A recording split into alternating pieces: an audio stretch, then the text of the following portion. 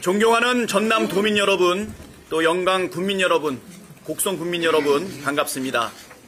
어, 영광굴비를 좋아하는 제가 이곳 영광에서 최고위원회를 하게 되니 더욱더 기쁩니다. 어, 아침 반찬으로 굴비 한 마리 했습니다. 어, 우리 김우영 실장님 맛있게 잡수셨죠? 예. 어, 영광굴비는 저뿐 아니라 온 국민이 사랑하는 영광의 특산품입니다. 그런데 안타깝게도 영광굴비는 그동안 지리적 표시제 등록이 되지 않아 법적 보호를 받지 못했었습니다. 다행히 영광 굴비도 지리적 표시제 등록이 가능하도록 어, 우리 민주당 이계호 국회의원과 장세일 영광군수 후보께서 많은 노력과 역할을 해주신 것입니다. 아시죠? 네. 예, 박수 한번 드리시죠. 영광굴비 지리적 표시제 사례는 좋은 정치와 좋은 행정이 지역을 발전시킬 수 있다는 것을 보여주는 좋은 사례라고 생각합니다. 정치나 행정이나 결국은 국민의 삶을 더 이롭게 만드는 게 목표입니다. 좋은 말은 누구나 하지만 실제 결과는 말이 아니라 실력에서 나옵니다. 좋은 법안과 조례를 만들 능력이 없거나 예산 확보 능력이 없다면 말 잘한다거나 사람 좋다는 평가는 받을 수 있을지 몰라도 지역을 바꾸고 주민의 삶을 개선시키는 좋은 정치, 좋은 행정은 불가능합니다. 툭 터놓고 말씀드리자면 군수 혼자 바꿀 수 있는 것이 많지 않습니다. 법안과 조례, 예산이 뒷받침되어야 뭐라도 할 수 있습니다. 선거 막바지가 되면 후보들 공약은 다 비슷해집니다. 결국은 예산 확보를 실질적으로 누가 할 수 있느냐가 매우 중요합니다. 예산 확보는 도지사나 군수 힘만으로 하긴 어렵습니다. 바로 정당과 국회의원이 함께 나서야 합니다. 무소속이나 소수정당이 잘하겠습니까? 아니면 국회 과반 의석을 가진 정당이 예산 확보를 더 잘하겠습니까? 전남, 영광, 곡성의 발전을 위한 예산 확보를 가장 잘할 수 있는 능력과 의지가 확고한 정당은 바로 170명의 국회의원을 보유한 민주당 아닙니까? 맞습니다. 전남 도민 여러분께서는 그동안 민주당의 든든한 버팀목이 되어 주셨습니다. 이제 170명의 민주당 국회의원들이 전남 도민의 든든한 버팀목이 되어 지역 발전을 위해 한몬처럼 뛰겠습니다.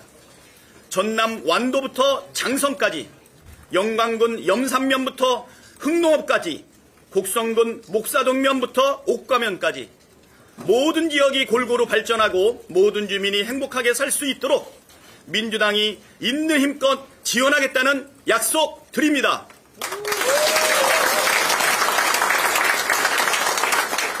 앞으로는 햇빛연금과 발안연금 혜택을 전남 도민이면 누구나 누릴 수 있도록 만들어야 하지 않겠습니까? 170명의 국회의원이 발벗고 나서서 전남을 대한민국의 미래가 시작되는 앞선 도시로 사람들이 모여드는 활기찬 도시로 키워내겠습니다. 하나 더 말씀드리자면 10월 재보궐선거에 출마하는 민주당 장세일 영광군수 후보와 조상래 곡성군수 후보는 전남 도의회에서 행정 경험을 쌓은 검증된 일꾼입니다. 처음부터 새로 배우다가 군정 파악도 하기 전에 임기가 끝나버릴 우려가 없고 당선되자마자 바로 일할 수 있는 풍부한 경험과 실력을 갖추었습니다. 영광과 곡선의 발전을 믿고 맡기셔도 된다고 말씀드립니다.